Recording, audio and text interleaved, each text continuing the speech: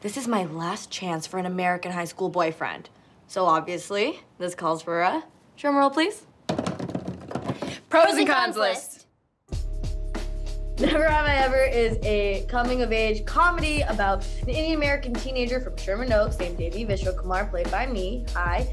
And we see her deal with family, her love life, and her friends, and getting through high school, especially after losing her father. It happens in the first 15 minutes. It's not a spoiler. Now we see Devi after dealing with her grief, starting to confront that grief. Spoilers, if you haven't watched, just like leave now. She ends off with kissing Ben at Malibu in the car, and Paxton's like calling her up. But for season two, now she finds herself in this love triangle, and she's decided that she's gonna have two boyfriends. So you're saying I should just have two boyfriends? Definitely not. Because she is very wise. Oh my god. I have two boyfriends. Well, it starts with the cliffhanger of season one. We get to, you know, see what's going on as a Team Paxton or Team Ben. There's a lot of friendship moments, there's new characters, there's a lot of new love interests, a lot of drama, a lot of awkward, angsty teen moments. Get on this car! It's always the short ones. Um, this love triangle is becoming very complicated, but very interesting to watch. And I think you see Paxton's character with a lot more challenge to him. You're seeing him, I think, chase a girl for the first time in his life and being very confused by that and dealing with that. Wait, have you been here since you left me that message? No. Well, yeah, I mean, I was waiting because I had nothing better to do. Re- They're putting him to work this season. Everything is not coming so easily. Fabiola and Eve are officially girlfriend girl, and Fabiola is just trying to navigate her new relationship, but also trying to figure out kind of how to fit in with Eve's friend group. And so she has a little, a little bit of struggle there. Chatty as ever, Fabiola.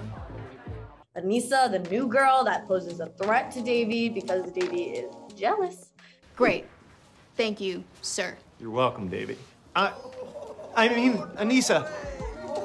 No, She's just a warm, friendly, loving person who just really wants to make a good impression and, and, and kind of effortlessly attracts friends. So that, of course, you know, triggers Devi's insecurities. And this is like Devi 2.0. No offense, Devi 1.0. As Miss Olivia Rodrigo would say, jealousy, jealousy. For season two, we wanted to like continue on in this character's journey. And she is a person who has a lot of internal struggles, which is why we gave her John McEnroe as a narrator, who is like the embodiment of rage. you okay, kid? You're John McEnroe. I am. Like every teen girl I ever knew was just like filled with like fury. So she, who has had this horrible thing happen to her, is still a very complicated character and, she's still immature and she still makes a lot of mistakes.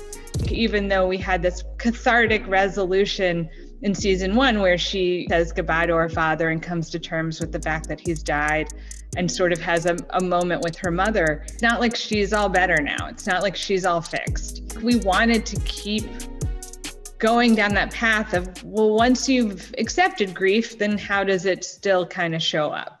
My mom doesn't tell me how to live my life. Megan Thee Stallion does. Never Have I Ever is fun and a great show to watch. No, that was like a, the worst sales pitch.